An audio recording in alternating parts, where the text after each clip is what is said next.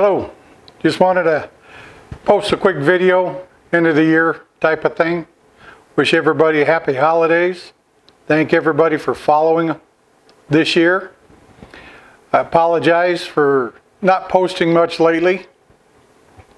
But if you follow me on Instagram, you realize that I had put had to put down two of my dogs this year, and it took every bit of my soul out of me this year.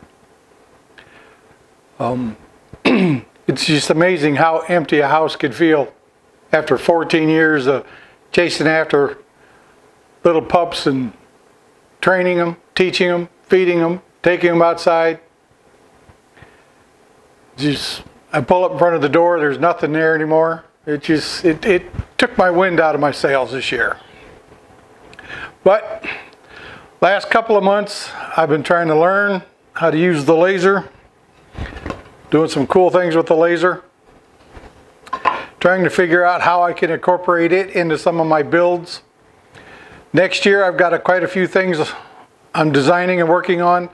I've got a uh, wine bar I'm designing. I've got a shoe rack slash closet.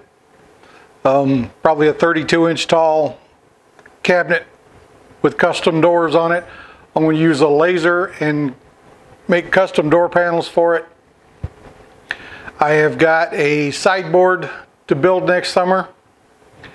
Um, got quite a few things in the in the works.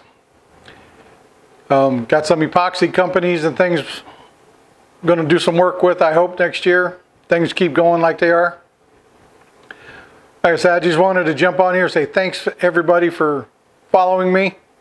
I wish you all a good holiday. Um, Stay safe, stay healthy, stay happy. And look out next year. Here we come.